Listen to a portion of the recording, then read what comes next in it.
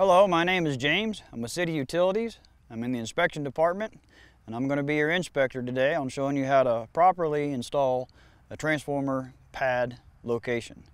This uh, particular transformer area has one primary coming in and we've got four two inch PVC elbows coming out to be able to serve multiple areas for secondary. So once we're finished with this journey, I hope that you'll be able to understand on how to properly Uh, install these things and get them put into our specs and our standards.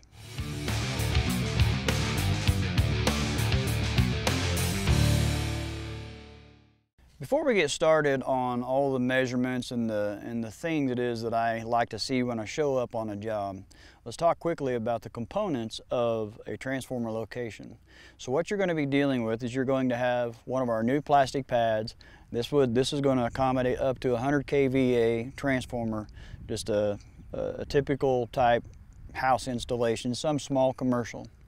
Um, on this particular location, what we're going to be dealing with here is a ground rod we're going to be using a 36 inch radius, not a 24 inch radius, but a 36 inch radius primary steel galvanized elbow. Now on the end of that elbow, what you're going to be installing is a five foot section of galvanized pipe. And on the end of that galvanized pipe, you will also have what they call an FA fitting or female adapter. It's threaded on one end to go on the galvanized and it's PVC on the other to be able to go out to accommodate the PVC pipe or conduit that you would be installing. So on this particular location we have four 24 inch secondary that's coming out the side. Now about our transformer location itself, we always have primary coming in on the left side and secondary going out on the right side. This is non-negotiable. These are the way the transformers are made, so you need to be sure and get with your engineer as far as how and the way that you may want the transformer lid in the back to be opening. Um, it's not uncommon at all for primaries and secondary conduits to cross to accommodate a better looking product at the end to have the doors open the way it is that the customer may want. We always have to have a 10 foot clearance in front of the transformer and 3 foot radius all the way outside. That means no plants, no bushes, no trees, no walls, nothing in front of that transformer. We have to be able to have access not only to open it, but to be able to work on it and work on it safely. So if you would do us a favor and make sure that wherever you're placing your transformer, make sure it's put in a safe place that we can all work around it. So let's talk about the transformer itself and the placement of the elbows. The contractor has already dug all this in. I've asked him to not backfill this so I can explain effectively what it is that we're going to be looking at. So behind me what you would see is a 36 inch ditch that has, I'm sorry, 36 inch cover of ditch. It's, it's a 38 to 40 inch ditch all the way down through here. He's already laid in his two inch plastic pipe. He used purple primer and glue. That's another thing that we like to see is the purple primer. It helps soften the material and, and helps things stick together a whole lot better. And, and it's less likely for it to come apart when the ground shifts, earth shifts, things like that. So behind me, 36 inch ditches of or 36 inch cover over the pipe coming up to that steel that's in the ground. And you may ask why it is that we have that five foot section of steels because we use large trucks and this is a large run that's actually behind me. It's going to be pulling about 300 to 400 feet of cable. So on the other end, we have another section that has that five foot stick underground. We use these for anchor points. This is so these elbows don't come out of the ground once we're pulling on it. So that's the reason why we call, why we call out a five foot section of pipe buried in the ground, compacted, so that these elbows don't come out of the ground once we're pulling that wire because that wire becomes very heavy. So back to the transformer. We have the, the 36 inch radius elbow coming into the left side. And on top of this, the contractor currently has used what they call an FA fitting because he's going to make adjustments for the depth and how this thing sits. The, the pad is just a little bit low in the ground. Once he's completed and finished, there will be gravel around here and this pad will be raised up about four inches. So in order to accommodate that, I'm going to let him leave this FA on here and he's going to put a piece of two inch plastic and then on top of that he'll have one of these two inch bell rings on top of that.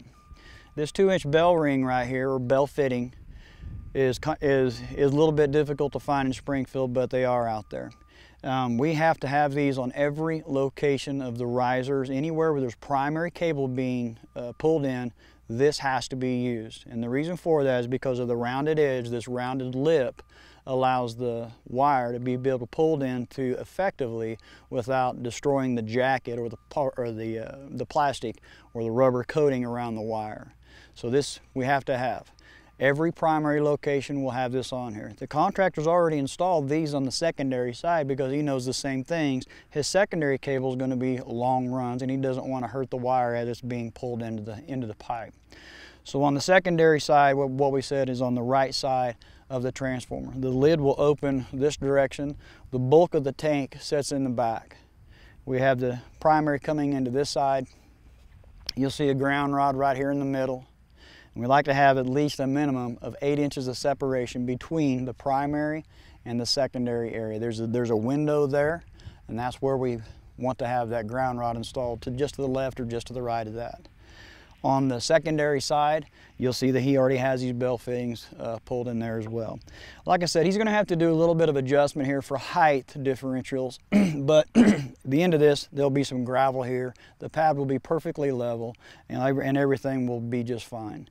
As soon as he calls me whenever this stuff is done, I'll come out and make sure that the gravel has been installed properly, that the pad is leveled, bell fittings are installed. The end of this will have a string that goes inside of here that's been blown in while me being present on site or someone from our facilities has visually watched them put in the string, make sure it's done correctly. That's to be able to pull in our uh, cable or our rope.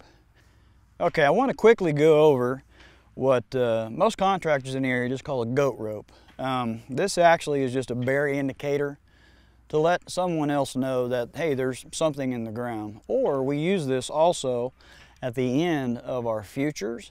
And, and, what, and what I mean by future is maybe a pipe that's being buried that's coming out that we will plan to use in the near future. And what this does, the contractor here has already, as you can kind of see, has, has put in some poles in the ground of his secondaries that are coming out. So that lets him know where they're at so when he comes back to dig in the secondaries. But we also use these in primary locations as well. And the way that they work is they just simply go around, they snap inside of each other, and the pipe will simply go through the center of this. This right here winds up getting mashed against the side of the ditch and getting covered up. And what sticks out of the ground usually is something about like this right here. Eventually somebody's going to mow over it, weed eat it, that's fine.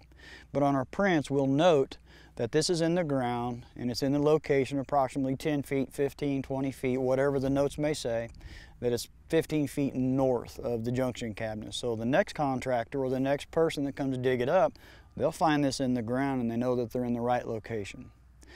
So I hope that uh, the explanation of this here might also help you.